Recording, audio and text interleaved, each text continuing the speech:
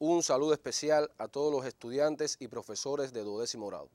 Hoy nos volvemos a encontrar para juntos sistematizar algunos contenidos importantes de la geometría plana que nos servirán para la preparación intensiva de las pruebas finales y los exámenes de ingreso. Bueno, como el tema lo dice, la geometría plana es un contenido que los estudiantes deben prestar atención porque es una invariante evaluativa tanto de las pruebas finales como de los exámenes de ingreso a la educación superior.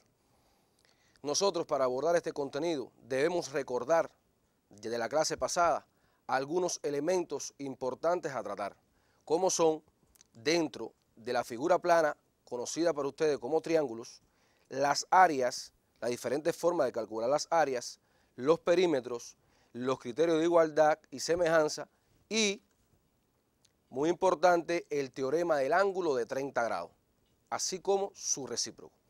Viendo esto, proponemos el primer ejercicio de nuestra clase. Bueno, como pueden observar, esto es un ejercicio típico de cómo se evalúan las pruebas finales y en las pruebas de ingreso. Ahí lo pueden observar como elemento distintivo. tenemos ahí que el triángulo ABC es isósceles de base AB, MN es paralela media del triángulo ABC, también conocida en algunas bibliografías como línea media, F punto medio de AB, que eso ofrece una información importante, NP mediatriz del segmento AF, que también ofrece una información importante, M, F y P puntos alineados. Esto significa que están ubicados en una misma línea recta. Como interrogante, nos pide, prueba que, un inciso A, que AFMN, ese cuadrilátero, es un paralelogramo como un inciso B, demostrar o probar que el triángulo MNP es semejante al triángulo AEN. Un inciso C, triángulo, demostrar que el triángulo MCN es igual al triángulo BMF. Bueno, como se pueden dar cuenta, en este ejercicio hemos tratado de, con este único ejercicio, abordar tres temáticas muy importantes a tratar en esta sistematización. Y como uno, eh, un inciso 1.2, ofrecemos un inciso de cálculo, ofrecemos el segmento AB con una longitud igual a 8,0 centímetros y el ángulo P, que es un ángulo exterior al, triángulo dado, igual a 30 grados, que podría ser el ángulo NPM o el ángulo EPF. Pero nosotros quisimos ponerlo de forma general, ángulo P igual a 30 grados, y nos piden un ejercicio de, de forma cuantitativa hallar el área del triángulo AEN. Bueno, le vamos a dar un breve tiempo para que copien este ejercicio y procedemos a la resolución del mismo.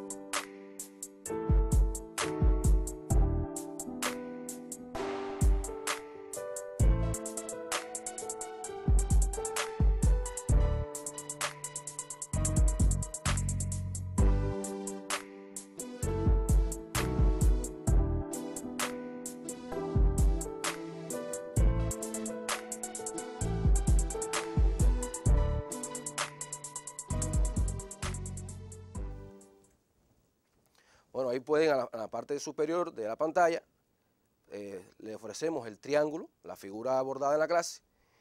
¿Qué debemos hacer?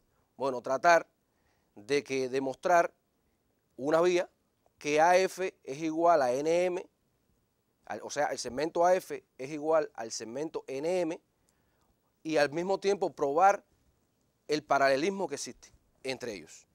Con estas dos condiciones, todo paralelogramo, o sea, todo cuadrilátero con un par de lados iguales y paralelos, es un paralelogramo.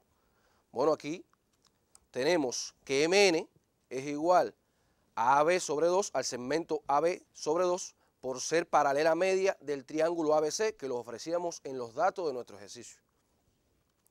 Tenemos además que AF va a ser igual al segmento AB dividido por 2, o sea, AB entre 2, por ser F punto medio de AB. Por eso yo decía que los datos que ofrece el texto del ejercicio son muy importantes y no pueden dejarse de pasar por alto. Tenemos además de aquí por carácter transitivo o por transitividad que Mn es igual a F. Ya tenemos la primera condición, ¿verdad? Que Mn, el segmento Mn, es igual al segmento AF. Debíamos demostrar ahora que existe el paralelismo. Si ya con estas dos condiciones podemos ir y concluir con lo que nos pide, nos pide el ejercicio. Bueno, Mn es paralelo a B por ser Mn paralela media o línea media del triángulo ABC, que los damos en, los datos de nuestro ejercicio, en la premisa de nuestro ejercicio, y ya con estas dos condiciones podemos concluir que luego el cuadrilátero AFMN es un paralelogramo por tener un par de lados opuestos paralelos e iguales. Concluimos el inciso A. Vamos a dar un breve tiempo para que copien la respuesta.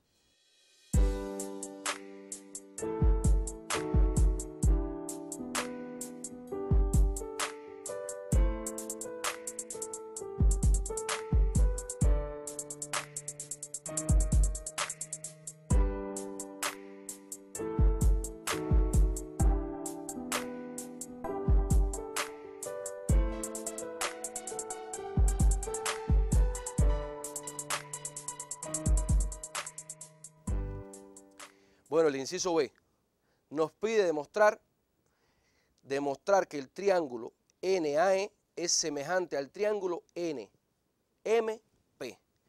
Bueno, nosotros ya habíamos abordado en la primera diapositiva de nuestra clase, en el recordatorio, los criterios de, de igualdad, en este caso de semejanza. El criterio más utilizado y el que vamos a ofrecer en la clase de hoy es el criterio AA. Bueno, para esto procedemos a eh, plantear que el ángulo NAE es igual al ángulo NEMF por ser ángulos opuestos del paralelogramo, que ya en el inciso anterior demostramos que eh, AFMN es un paralelogramo y una propiedad importante del paralelogramo cumple que este, los ángulos opuestos del paralelogramo son iguales. Procedemos, entonces, tenemos que AN es paralelo al segmento FM por ser lados opuestos del paralelogramo ANMF. Condición importante. Si existe el paralelismo, entonces podemos tener los ángulos entre paralelas. Recordar que estos ángulos son los alternos, los correspondientes, los conjugados, los opuestos por el vértice y, y los complementarios. Ahora, el ángulo ANE es igual al ángulo P. Y ahí viene la justificación por ser alternos entre las paralelas AN y FM, siendo NP secante. Podemos entonces concluir con una breve precisión, por tanto el triángulo ANE es semejante al triángulo MNP por tener respectivamente iguales dos ángulos. Criterio que se conoce con AA, o sea, dos ángulos respectivamente iguales. Es importante que este contenido se repase en los turnos que se ofrecen en las escuelas como turnos remediales, en las, las casas de estudio, con sus compañeros, con su profesor, porque es un contenido esencial, una invariante evaluativa de las pruebas finales de 12 grados y los exámenes de ingreso. Vamos a dar un breve tiempo para que ustedes copien la resolución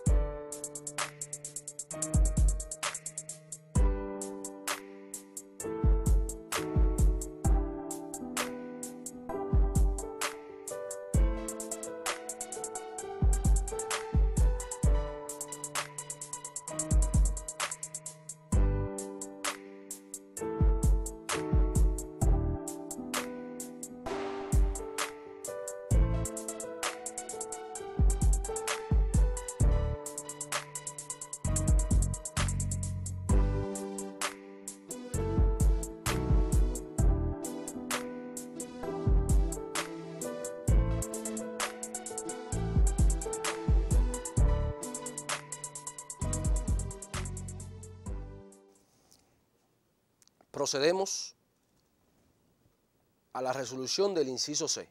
Nos piden, demuestra que el triángulo NMC es igual al triángulo MFB. Para esto ya tenemos un, camino recorrido en los incisos anteriores, donde tenemos que el segmento MN es igual al segmento FB. O sea, que este segmento NM, este que está aquí, es igual a este segmento que está aquí.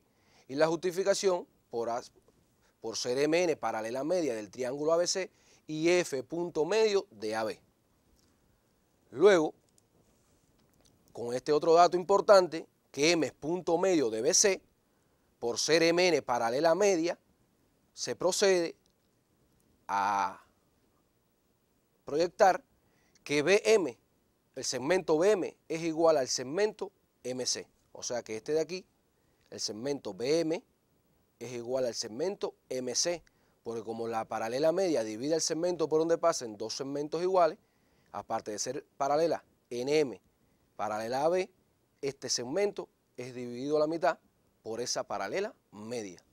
Tenemos dos elementos, dos lados, nos faltaría otro lado, u un ángulo comprendido. En este caso, la condición que podemos ofrecer es que el ángulo CMN, este que está aquí, CMN, este, es igual al ángulo MBF. Ahí lo pongo en pantalla. CMN igual al ángulo MBF por ser correspondientes entre las paralelas MN y AB, siendo BC secante. Bueno, ya tenemos tres elementos importantes dos lados y el ángulo comprendido. Ya es sencillo para ustedes saber o concluir que el triángulo MCN es igual al triángulo BMF por tener respectivamente iguales dos lados y el ángulo comprendido. Criterio conocido por ustedes como criterio LAL, dos lados y el ángulo comprendido. Comenzamos el 1.2. ¿Qué nos decía el 1.2?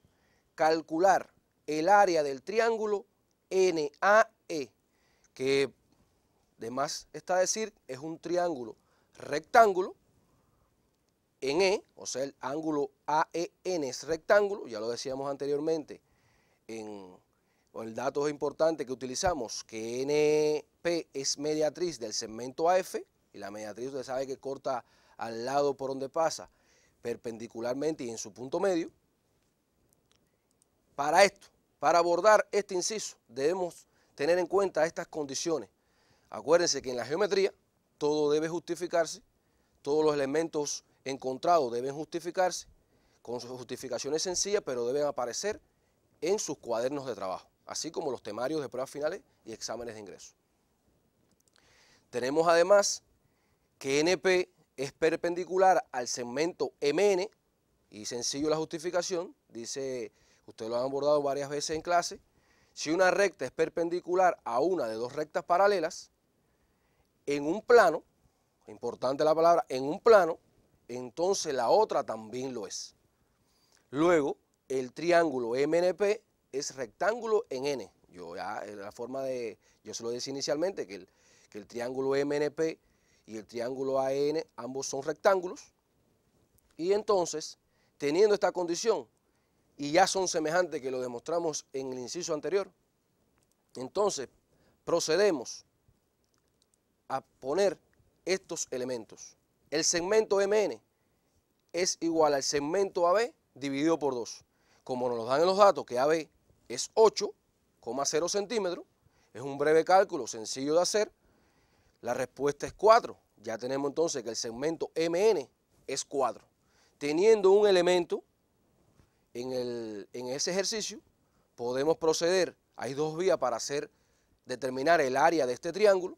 Vamos a, a enseñar en pantalla las dos vías que se pueden utilizar para este tipo de resolución. A continuación se la presento. Bueno, lo primero, ya decimos que el triángulo AEN es rectángulo y existe un área de un triángulo rectángulo, que ya la mostramos en el inicio de nuestra clase, que dice que el área de un triángulo rectángulo, en este caso el área del triángulo AEN, es igual a cateto 1 por cateto 2 sobre 2. En este caso, identificando quién es el cateto 1 y quién es el cateto 2, tenemos, bueno, como cateto número 1, AE, el segmento AE, recuerde que estamos trabajando en este triángulo rojo que está aquí enmarcado, por el cateto número 2, que es NE sobre 2. Bueno, sencillo, un teorema muy conocido por ustedes y trabajado durante todas las clases es el teorema del ángulo de 30 grados en triángulos rectángulos. Importante que el estudiante observe que este teorema solo, solamente se cumple cuando el triángulo es rectángulo y de ahí procedemos a decir que A igual a 2,0, N igual a 2 raíz de 3 centímetros y a N igual a 4,0 centímetros con la justificación que mencionaba anteriormente, el teorema del ángulo de 30 grados. Bueno, sustituyendo las dimensiones de estos catetos, podemos observar 2 por 2 raíz de 3 sobre 2, sencillo ese cálculo, simplificando, usted puede multiplicar y luego dividir, recordar que la raíz de 3 es aproximadamente 1,73, en todos los exámenes se dan este dato auxiliar, que la raíz de 3 es 1,73, y cuando procedemos a este cálculo, bueno, obtenemos que el área del triángulo AN es aproximadamente 2 raíz de 3. Recuerden que raíz de 3 es un número racional, es una aproximación, de ahí la, la aproximación de que el área del triángulo AN es aproximadamente 2 raíz de 3 centímetros cuadrados. Y haciendo un cálculo sencillo, fácil para ustedes, obtenemos que el área de ese triángulo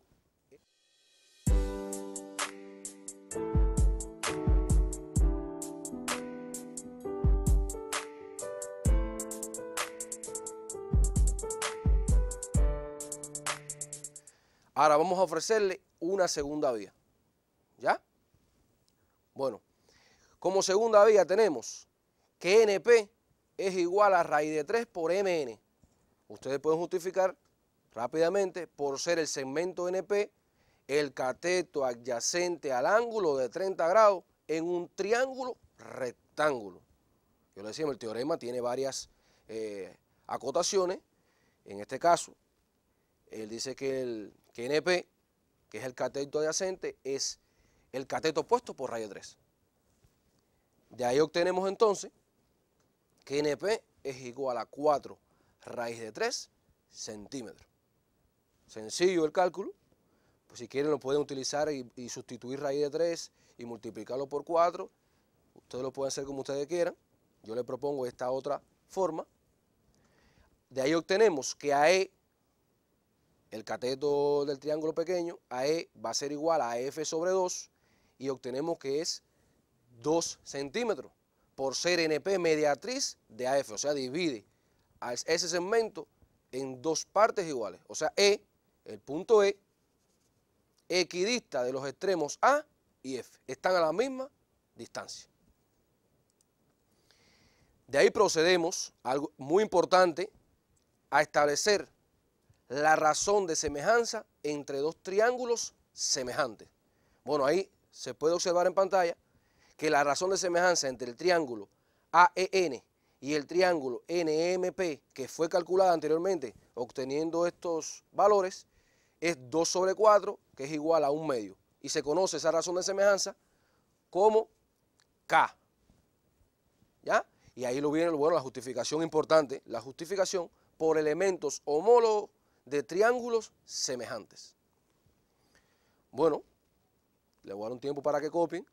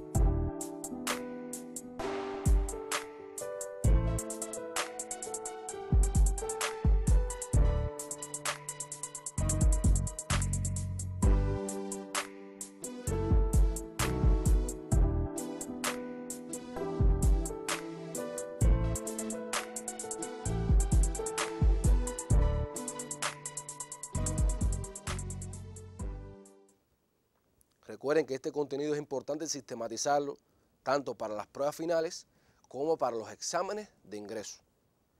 Continuamos estableciendo la relación que existe entre las áreas de dos triángulos semejantes. Ahí pueden observar que el área del triángulo AN sobre el área del triángulo MNP es igual a la, razón de semejanza al cuadrado. Acá al cuadrado.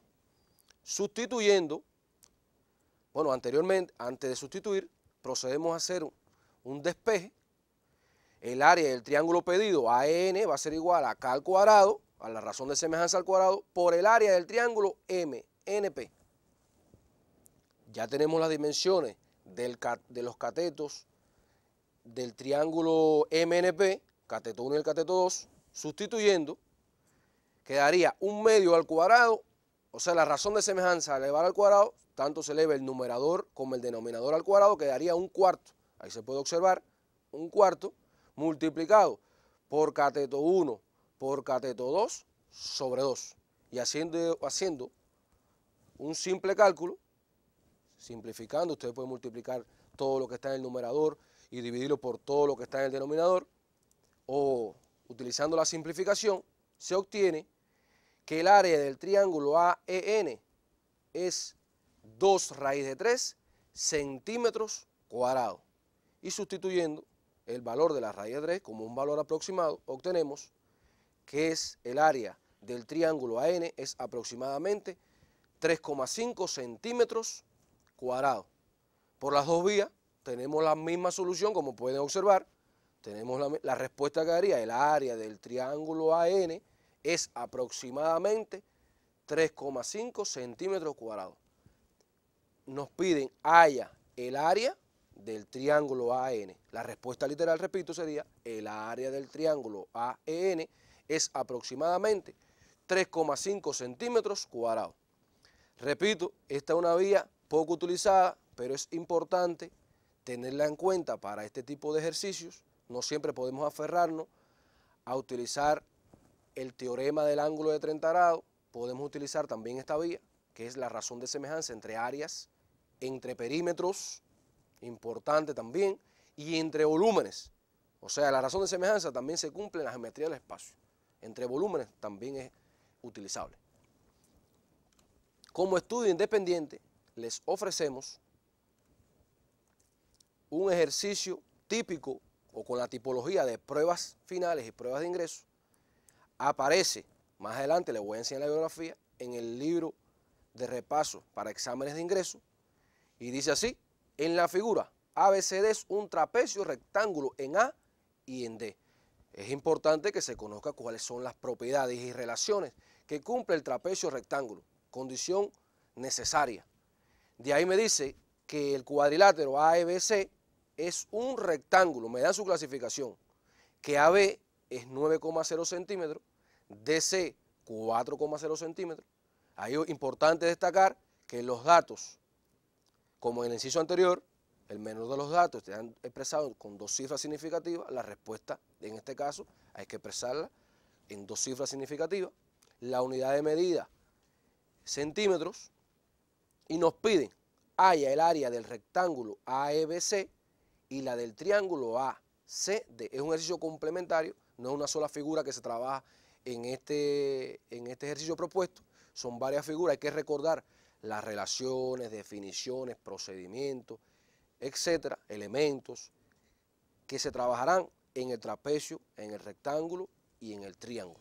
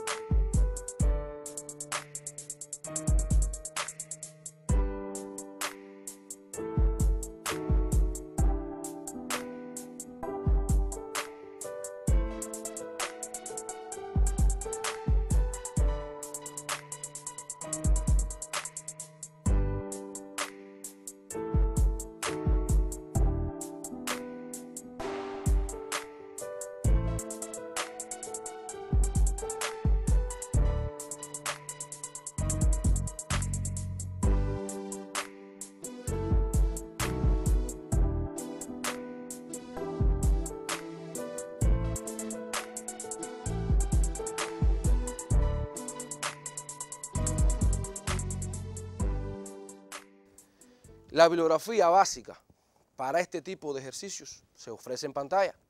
Libro de texto décimo grado, manual de ejercicios de matemática para la educación media superior, problemas integradores, libro de teleclases, preparación para los exámenes de ingreso, lo decía en las clases pasadas, materiales, el compendio de ejercicios de pruebas finales que han salido en los últimos años, es un material que va a favorecer este, este, este enriquecimiento de contenidos y de tipología de ejercicios como salen en las pruebas finales, los exámenes de ingreso. Y, importante, visitar el portal CubeEduca, que es uno de los catálogos de Cinesoft, donde aparecen también todas las pruebas que han salido en los últimos años referidos a este contenido, además de otras bibliografías utilizadas, otros sistemas de ejercicio, de materiales de doctorado, de maestría, que han tenido resultados, aparecen en este portal CubeEduca. No tenemos tiempo para más. Nos despedimos hasta un próximo encuentro.